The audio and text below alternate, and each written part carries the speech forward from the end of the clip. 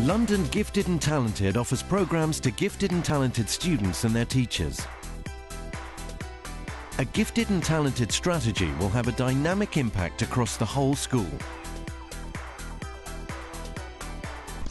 Hannah, a runner-up in the Wimbledon finals for her age group, trains for three afternoons of school each week.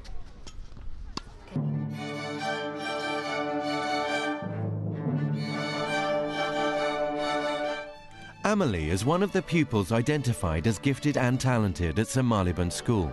She excels in many of her academic subjects and music.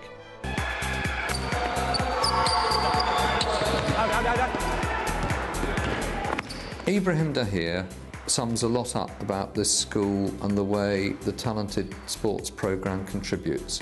He came as a refugee from West Africa to London four or five years ago and now has a scholarship to do sport at Appalachian State University in North Carolina.